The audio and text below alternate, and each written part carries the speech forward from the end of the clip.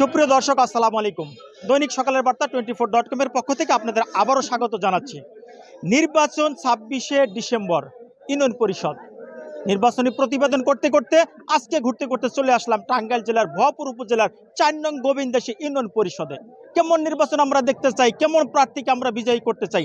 আগামী পাঁচ বছরের জন্য এই গোবিন্দাসীর ক্ষমতার চেয়ারে কে বসতে চাচ্ছে? এ ধরনের অনেক তথ্য সংগ্রহ করতে করতে আমরা হাতের নাগালে পেয়ে গেলাম আরেকজন প্রার্থীকে। যিনি যার নাম আমিনুল ইসলাম আমিন। তাকে আমরা সকলেই চিনি, সুপরিচিত এবং সাবেক চেয়ারম্যান, যিনি আনারস প্রতীক নিয়ে নির্বাচন করে যাচ্ছেন। তার কাছ থেকে আমরা শুনব ইউনিয়ন পরিষদ, চার নং গোবিন্দসী ইউনিয়ন নিয়ে তার ভাবনা, তার চিন্তা চেতনা, তার আগামী দিনের পরিকল্পনা। এই বিষয় নিয়ে আজকে আমরা সরাসরি কথা বলব।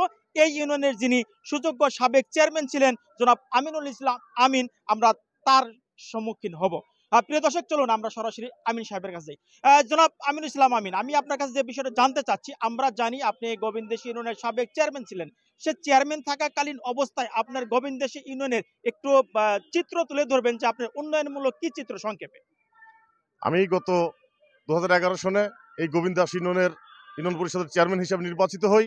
চেয়ারম্যান হিসেবে নির্বাচিত হওয়ার পূর্বে আমি ইস্তেহার ঘোষণা করেছিলাম যে আমি চেয়ারম্যান হিসাবে যদি নির্বাচিত হতে পারি, তাহলে এই গোবিন্দাসীর মানুষের ভাগ্যের পরিবর্তন করার জন্য, এই গোবিন্দাসীকে এগিয়ে নেওয়ার জন্য আমি যে এই এই কাজগুলো করব। সেই কাজগুলোর মধ্যে আমি এই গোবিন্দাসীকে ডিজিটাল ইনন হিসাবে রূপান্তরিত করব। এটা এক নম্বর এজেন্ডা ছিল। আমি এক নম্বর ইস্তেহার চেয়ারম্যান হয়ে বাস্তবায়ন করেছি। উন্নয়নের এজেন্ডা ছিল।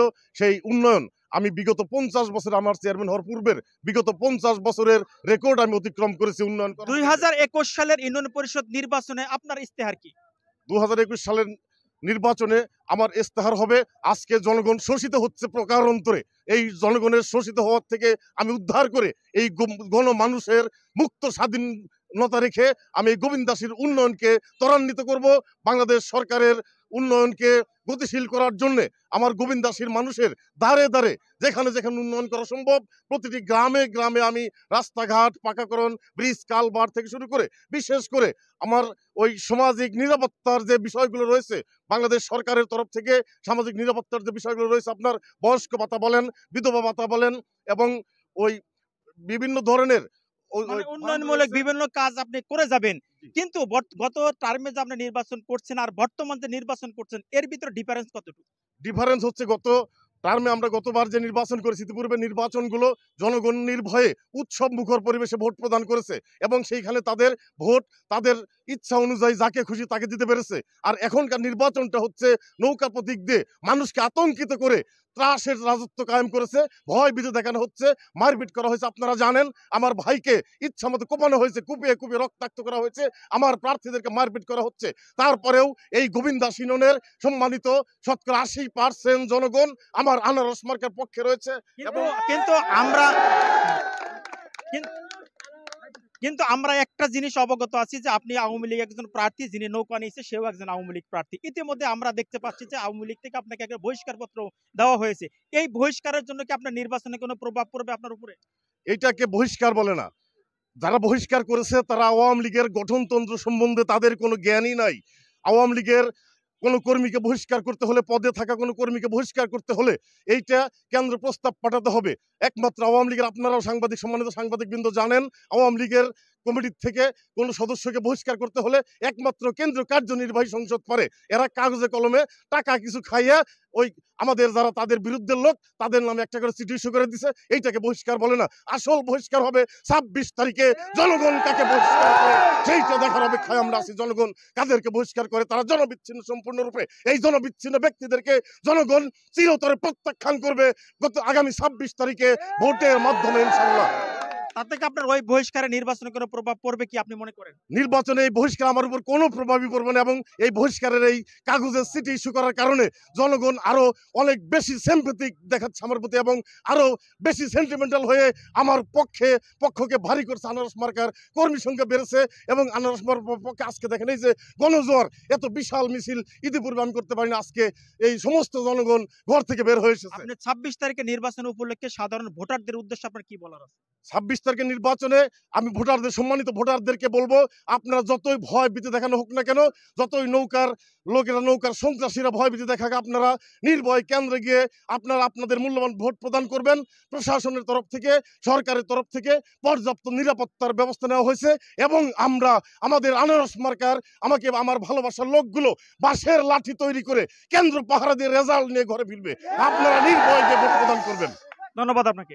আমরা জানি নির্বাচন সুষ্ঠু করার জন্য প্রশাসন ইতিমধ্যে অনেক ধরনের পদক্ষেপ নিয়েছে। বর্তমানে কিন্তু নির্বাচন শুরু হয়েছে আওয়ামী লীগ বনাম আওয়ামী লীগ। এই আওয়ামী লীগ, বনাম আওয়ামী লীগের মধ্যে আগামী ছাব্বিশ তারিখে দেখা যাবে যে সেই বনামের মধ্যে কে জিতে, কে হারে, সেজন্য আমাদের অপেক্ষা করতে হবে। প্রিয় দর্শক, আমরা একটু সাধারণ ভোটারদের সাথে একটু কথা বলব তাদের অভিমত কি এবং তাদের বক্তব্য কি? চলুন আমরা একটু সাধারণ ভোটারদের কাছ থেকে ঘুরে আসি। নির্বাচন সুষ্ঠু, নিরপেক্ষ নির্বাচন দেখতে চাই আমরা। আমরা কোনো মারামারি, আমরা চাই না আমাদের সন্ত্রাসটা আমাদের হুমকি দেয়। নির্বাচন হবে না এই কৌশল আমরা চাই না আমরা শান্তিপূর্ণ নির্বাচন চাই আমরা।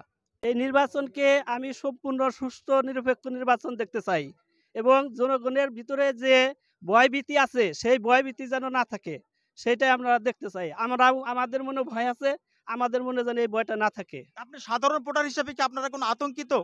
জি আমরা এখন আতঙ্কিত। কেন বিষয়টা কেন আতঙ্কিত? কারণ আমরা দেখতেছি এখানে কিছুদিন আগেও মারামারি হয়েছে এবং তাকে একজন প্রার্থীর আনারস মার্কার কর্মীকে মারধর করা হয়েছে। যেভাবে মারধর করা হয়েছে তাতে আমরা খুবই আতঙ্কিত।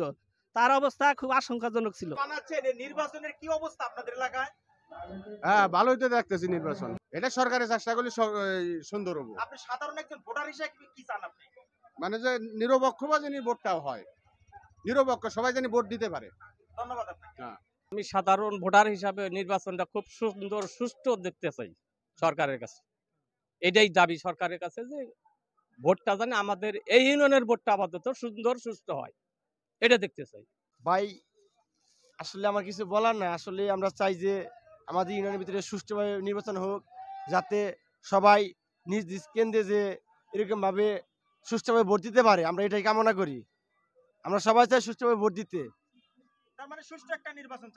আমাদের দাবি একটাই যে যারা আমাদের উপজেলার ভিতরে আইন প্রশাসন আছে তারা যেন একটু আমাদের দিকে আমাদের এই ইউনিয়ন পরিষদের দিকে তাকায় যে না সাধারণ জনগণের জন্য কোনো ক্ষতি না হয় আমরা যেন সুস্থভাবে ভোট দিতে পারি এটা আমাদের কামনা। তো এবং ভালো চাই জনগণ জানি ভোট দিতে পারে নিজের নাগরিকত্বটা তারা জানি নিজের অধিকার আদায় করে নিতে পারে এইটাই আমার কামনা। সবার কাছে কামনা সুস্থ ভোট চাই সুস্থ। ভোট কেন্দ্রে কোনো রাজনীতি, কোনো মারামারি, কোনো ধরাধরি চলবে না।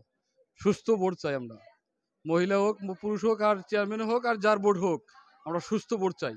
আমরা নাগরিকত্ব পালন করতে পারি। এই নির্বাচনের চিত্র দেখা দেখা- দেখাতে দেখাতে টাঙ্গাইল জেলার ভয়াপুর উপজেলার এই চার নং গোবিন্দেশের ইউনিয়নের নির্বাচন কিন্তু ছাব্বিশে ডিসেম্বর। এই ছাব্বিশে ডিসেম্বরের নির্বাচনে আগামী দিনের পাঁচ বছরের ক্ষমতার চেয়ারে কে বসতে চাচ্ছে সেজন্য আমাদের অপেক্ষা করতে হবে। এবং আপনারা যারা ভোটার আছেন, আপনারা নির্বিঘ্নে, নির্ভয়ে কেন্দ্রে গিয়ে আপনি আপনার পছন্দের প্রার্থীকে ভোট দিয়ে আগামী দিনের এই ইউনিয়নের উন্নয়ন করার জন্য যার হাতে চাবিকাঠি তুলে দিবেন, তার জন্য অপেক্ষা করতে হবে। হয়তো ছাব্বিশ তারিখ রাত্রি দশটা অথবা রাত্রি বারোটা। এর মধ্যে হয়তো আমরা পেয়ে যাব পেয়ে যাব কাঙ্ক্ষিত সেই প্রার্থীকে যিনি বিজয়ী হয়ে আসবেন এই ক্ষমতার চেয়ারে। এ পর্যন্ত আপনাদের অপেক্ষা করতে হবে। আপনারা যে যেখানে আছেন, যে যে অবস্থায় আছেন, আপনারা ভালো থাকুন, সুস্থ থাকুন নিরাপদে থাকুন আল্লাহ হাফেজ আসসালামু আলাইকুম